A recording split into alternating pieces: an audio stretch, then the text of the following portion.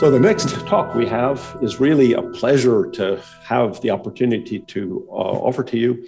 Uh, Kathryn Schmitz is a professor who has been recently recruited to the Hillman Cancer Center from uh, Penn State, had previously been at Penn, and is really an international authority on the role of exercise in health and in treatment and in cancers. And basically, um, this relates very closely to Dr. Najjar's, which we had accelerated because we were moving a little quicker than we had anticipated, but in fact is a perfect segue from the trial uh, results that Dr. Najjar presented. And so, welcome, Dr. Schmitz. Thank you so much for coming to talk about the role of exercise in the treatment of cancer and its prevention. Thank you. Thank you very much. Hello, welcome. And um, I apologize. I thought that I was early, actually, and apparently somebody went a little fast with their talk. So, um, so I, I, I gave my title a pre-title, and that is, "But I'm so tired," because generally, when I talk to people living with and beyond cancer about exercise, one of the things I hear is, "What is it you don't get about the fact that I'm so tired? Why would I exercise?" And I'm hoping that I can show you some data that will convince you that it might be worth your while anyway. So, as an overview, um, we're going to move a little bit. Um, I'm going to introduce you to something called exercise snacks. So, if you're not an exerciser at all, um, this is sort of your um, gateway drug um, into maybe thinking about a little bit more movement. And then I'm going to talk about why you should exercise. Part one uh, exercise, cancer prevention, cancer treatment. And then we'll talk about part two exercise to treat symptoms during and after treatment. We'll do another exercise snack. And then I plan to spend the second part of my time with you all, hopefully inspiring you um, and showing you some stories about other uh, patients who have uh, found their way to exercise as they've gone through their own cancer journey. Um, and hopefully it'll be helpful to you all as well. Okay, so our first exercise snack is a chair stand. If you are able to, to stand, great. If you are not, you're going to squeeze your butt cheeks. Okay, so uh, I don't know, can I still be seen if I come over here? Do you think? Probably not. Okay, well, then you're going to have to use the picture. So, everybody stand up, please. And you'll see what the picture is. You're basically sitting to your chair and coming back up 10 times. Here we go, and down and back up. And I am squatting back here. Two, you can't see me, but I am squatting. Three, and up. Four, and up. Five, you can keep my hand going.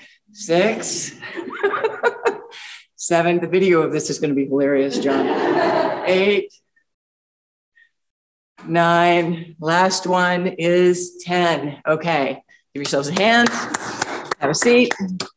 So, exercise snacks, the idea behind an exercise snack is that it's a short burst of exercise that you would do throughout the day. They're one minute workouts, fun filled, bite sized exercise events. The idea is if you're like, nope, not an exerciser, it's fine. Do five exercise snacks during the day. You've done five minutes of exercise. That's more than you would have done otherwise. Okay.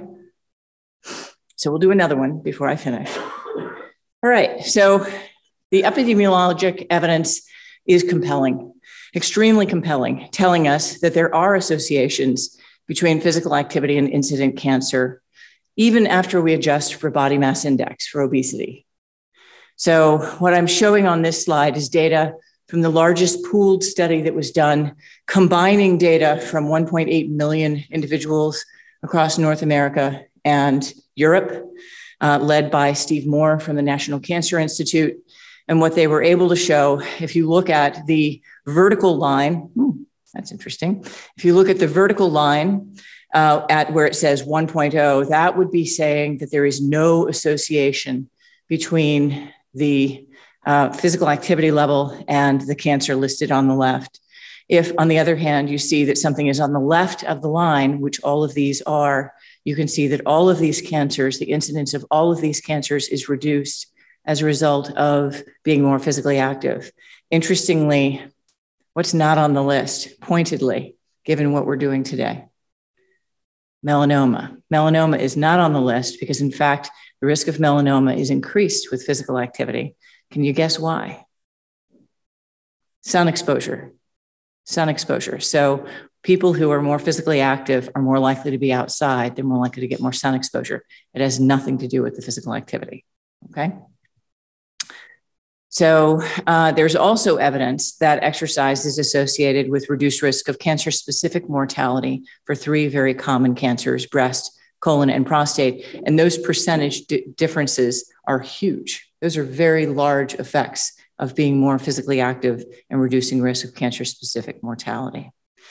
There are a number of proposed mechanisms, and this is why uh, Dr. Kirkwood's comment about the timing of the two talks is absolutely perfect. Um, there are a number of proposed mechanisms that we would uh, uh, expect to be the reasons why exercise would have an effect on incident cancer. And they are the very same pathways that you just heard in the prior talk.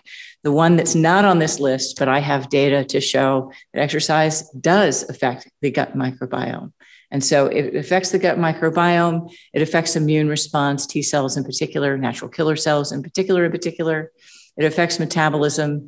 It affects tumor physiology. The tumor microenvironment is altered. The entire hormonal milieu around the tumor is altered as a result. All of the signaling cascades are changed as a result of exercise training. Gene expression is changed as a result of exercise training. And that oxygen, that hypoxia that was talked about in the prior talk, is altered dramatically as a result of doing exercise training.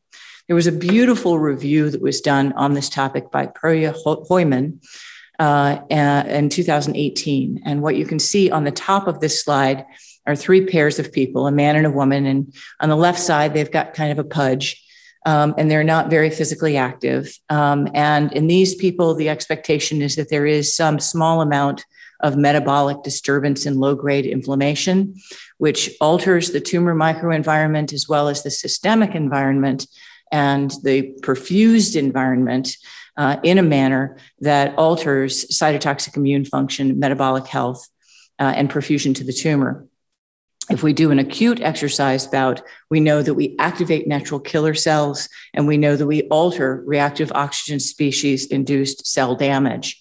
If we become regularly physically active, we are exercise trained, we have improved, excuse me, cytotoxic immune function and improved metabolic health. You just heard about the metabolism of the cell and that this metabolism of the cell is vitally important to our understanding of the response of melanoma cells to the treatments that are provided.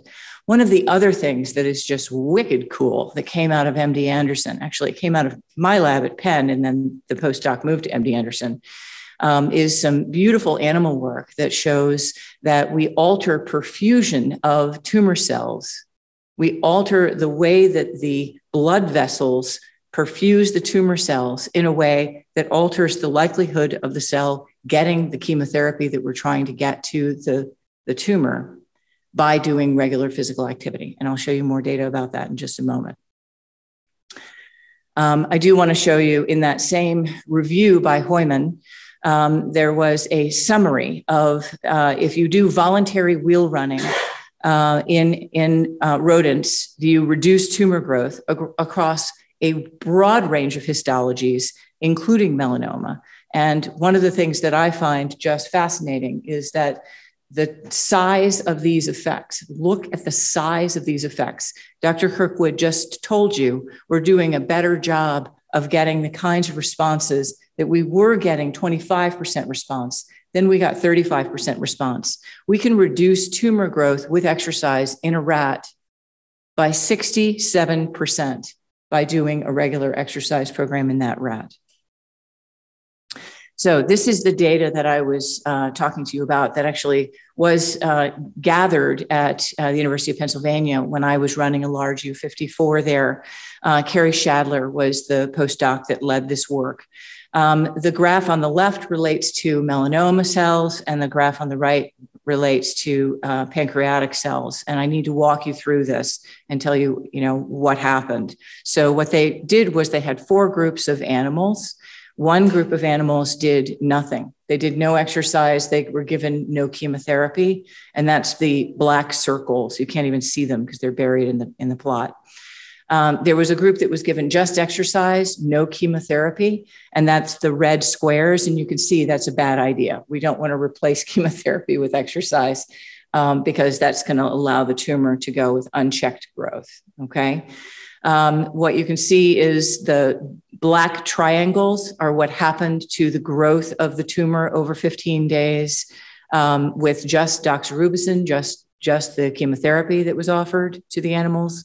But what you can most pointedly see is that the growth of the tumor is least in the animals that received an exercise intervention at the same time that they received the chemotherapy. And they were able to go back and take samples of the tissue from these animals and discerned that, in fact, what was happening was that exercise was causing shear stress in the uh, blood vessels of these animals in a way that caused improved perfusion of the tumor so that the chemotherapy drug was better able to get to the tumor and treat the tumor. So I stand before you, perhaps the first person talking to you about the field of exercise oncology, but I am not alone. This is not a new field.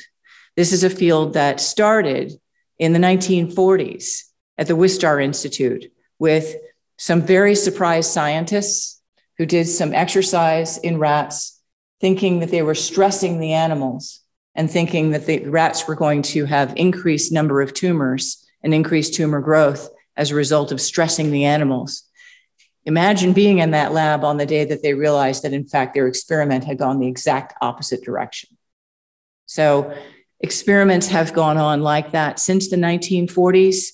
In the, in the 1980s, the first human clinical trials in exercise oncology were done at The Ohio State University by nursing scientists. And the field has slowly grown over the course of the 1990s and the 2000s. I wrote the first meta analysis in this area in 2005. Uh, we had an ACSM roundtable, American College of Sports Medicine roundtable in 2010 to draw some conclusions and look at the data to say what should we be recommending to people living with and beyond cancer. Uh, there was a 281% increase in the number of randomized controlled trials in this field between the first ACSM roundtable and the second one in 2018. And if you were to search what's called PubMed, um, and you can just Google for PubMed to look where the scientists look for their scientific publications, and you were to search on exercise, cross it with cancer, say human English clinical trials, you would get over 2,600 responses today. Now, maybe there are people who've published two papers on one trial. So let's say it's over a thousand. Still, this is not something I invented this weekend in my garage. So, what about the other cancer health related outcomes? It's not just the incidence of the cancer that we care about. We also care about symptoms, treatment tolerance, and adverse effects of treatment. Well, great news. There are guidelines. So I am very proud to have been the person who has spearheaded the American College of Sports Medicine guideline process from 2010 as well as 2018. Um, but the American Cancer Society followed us in 2022 um, and very importantly, uh, the American Society of Clinical Oncology released their guidelines in 2022 as well. There are two things to say here. One is if you were to go back and look very carefully at the names listed in all of these publications, they barely overlap, but they all draw the same conclusion. That's really important. That tells you that this is a robust conclusion. The other thing that I think is awesome is that ASCO came forward with strong language. They said oncologists should, based on the data, should be referring their patients to exercise to deal with symptoms and side effects during their treatment. So, what does exercise do for patients as they go through their cancer journey? We know that exercise is the number one treatment for cancer related fatigue. So, but I'm so tired. The number one treatment, better than any pharmacologic agent available on the market for treating cancer related fatigue, is movement, is simply getting out of your chair and moving a little bit. Health related quality of life is improved, physical function. So, eh, physical function, what the heck do I mean by physical function? I mean your ability to pick up a box and carry it across the room. I mean your ability to carry your grandchild. I mean your ability to get on the floor because you forgot that you needed to get something underneath the couch. Uh, I, I mean, you know, wheeling your suitcase down uh, the, the hallway to be able to travel somewhere to see a, a loved one. I mean, your ability to carry your groceries, uh, your ability to make your bed, the ability to do the things that you need to do in order to function in your life and be independent. Anxiety and depression are made better by physical activity. Sleep is made better by physical activity.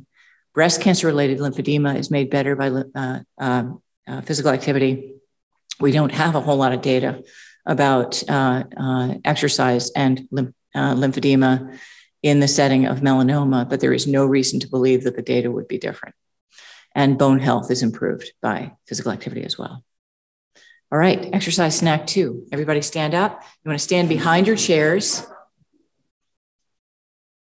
And we're going to do calf raises. What you can see here is she's lifting her heels. So we're going to come up on our toes and back down. And two, and back down. And three, and back down. And four, and back down and don't hold on. See what happens. I've lost count, like every trainer, right? Seven. Is that seven? Eight, nine, and 10. There you go. So you got a little balance exercise too. All right, well done. Okay, so for the remainder of my time with you, what I really want to talk about is exercise oncology in action. I want to give you some stories about people who have found their way to exercise during their cancer journey. And I start with a story of my friend Bill Jolly, who goes my, by Jolly because he is. Um, and uh, he was invited to do a, a sprint triathlon back in 2011 by a friend. And he was just completely exhausted doing all of the exercise. And the quote he had was, I know I'm out of shape, but I sh- should I be this tired? Developed something like chest congestion, had no, nothing showed up on a chest scan. He was prescribed albuterol for what they thought was adult onset asthma. Um, a month later, uh, a mile into a run, uh, his friend says to him, Damn, Jolly, I didn't know you had asthma. And he said he was wheezing so bad it sounded like he swallowed a whistle. So PCP ordered a second chest scan and uh, said, It looks like you have an enlarged heart, probably nothing, just an athlete's heart. I'll have my friend who's a radiologist take a look for you. Um, the radiologist recommends a CT, which confirms stage three lymphoma, and a biopsy uh, two months later revealed small lymphocytic lymphoma. In January of 2012, he started six rounds of chemotherapy. He, in the same month, started training with the Leukemia Lymphoma Society team in training. Five months after chemo, he completed a marathon. Um, the next year, he did an Olympic try. The next year, he did an Olympic try. In 2018, he did a half marathon. In 2016, he relapsed. He had a remission, uh, four years of remission. Um, uh, he felt an enlarged node under his armpit during a shower, and he started oral chemotherapy or immunotherapy. Um, in January of 2017, this is this is crucial. This is why I title my talk what I do: increasing fatigue, growing significant. The quote: I felt myself going to a dark place, and I didn't like it. I didn't want to work. I didn't want to talk to my wife or kids. And after four days of increasing depression, I told my wife at 10:30 at night that I had to go for a run. One mile into the run, my fatigue and depression just vanished. I discovered I could keep the fatigue and depression away as long as I exercised every other day. And in October of that year, he finished his first Ironman. He continues to do Ironman competitions. Jolly allows me to share his story if I share this slide in particular. Jolly's takeaways are that you need to listen to your body, that your body will tell you that something's wrong before the lab tests will tell you that something is wrong. If something feels off, don't ignore it. Be quick to get help from allied health professionals such as exercise, nutrition, and psychology. Medicine and surgery are not the only tools for a cancer journey. Exercise can reduce or eliminate medication symptoms and reduce recurrence of some cancers. And very importantly, very importantly, cancer often feels like something that happens to you. I am a cancer caregiver. My wife went through head and neck cancer. I know the cancer can feel like something that happens to you so this is a way for you to feel that you have a mental victory and you get something back. The list goes on. Sydney Hooper is a pancreatic cancer survivor Ironman competitor. Susan Helmrich is a three time survivor. Some of us might be old enough to remember the DES trials and the DES daughters. Uh, she also had lung cancer and pancreatic cancer. She's a master swimmer. Gabriele Grunewald was a patient with adenoid cystic carcinoma who was diagnosed in 2011. While she was an advanced cancer patient, she was a sponsored rank USA track and field runner. She placed just one shy of getting into the Olympics in London while she had cancer. She was the national champion of the 3000 meter while she had cancer. Gabe had a, she has a foundation called Brave Like Gabe. She had a, uh, a quote that she went to a lot. There are two ways to live your life. The first is as if nothing is a miracle, and the other is as if everything is a miracle. Mike Levine, uh, pictured on the left, is a young man doing Ironman competitions. He was diagnosed with stage four pancreatic cancer and told basically, you know, we're, we're done. There's not a whole lot left we can do for you. Um, and, uh, you know, he stopped doing any kind of exercise and his friends showed up and said, yeah, let's go for a, a mile long run. Let's go for a, you know, a walk. Let's get on the bike and just tool around the neighborhood. And what he was shocked by was with stage four pancreatic cancer that he had something left in the tank and that he was able to go back and do one more competition. Kikkan Randall's story is really dramatic as well. Kikkan Randall is a US Olympian. She's a gold medalist from Pyeongchang. She was a phenom in Pyeongchang as it was because first she got a gold medal for cross country skiing against some Scandinavians. Americans never win against the Scandinavians. Um, also because she was a young mother at the time, and that's pretty unusual for uh, Olympians at that or athletes at that level. But when she came home three months after coming home from Pyeongchang, she was diagnosed with an aggressive breast cancer. And she went right into athlete frame of mind. She's made a public commitment to stay active. She rode her bike to and from the treatments. You can go online and, and Google Kikkan Randall and see pictures of her doing her exercise while she's going through her treatment, completely bald. Um, and uh, she definitely had bad days. And on those days, she would try to do something for at least 10 minutes. So it's not like everybody's doing a marathon every day. Um, very important quote here moving helped me feel better physically, and more importantly, it gave me a mental victory. She credited feeling uh, physical activity for helping her body process all of the treatments.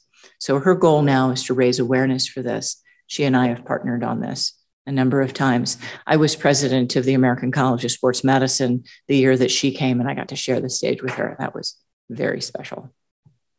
So, what I would conclude with is that I think it's time for a paradigm shift.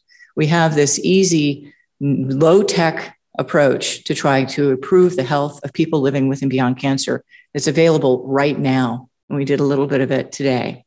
Exercise is indeed medicine for people living with and beyond cancer. You don't need to do a, triathlon. You don't need to do a marathon. You don't need to be an Ironman. Taking a 10 minute walk is actually going to make a difference and will make differences physiologically in the very same pathways that are described in the more basic science talks today. Um, I am delighted to tell you that we have started the Moving Through Cancer program at Hillman Cancer Institute, Cancer Center. And uh, if you are interested in more information about this, I hope you'll find me during the break or uh, go check out this website or even Google Hillman and moving through cancer, and you'll find it very quickly. Okay, thank you.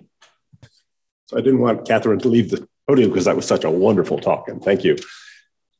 What you heard about from several of the talkers, talkers, the speakers before Kathryn, is that the leading cause of dose interruption, the leading toxicity of targeted therapy, not even the immunotherapy, but of also our immunotherapy, the leading toxicity is fatigue.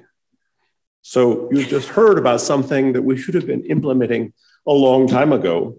Several of you in the audience, I won't point to you and name you, but uh, you are avid cyclists. And basically, you know how important exercise is. It's critical, uh, really, to everything uh, that is the rest of us. And this fits so perfectly following Jana's talk about tumor cell and T cell metabolism. It's your whole body's metabolism that's important.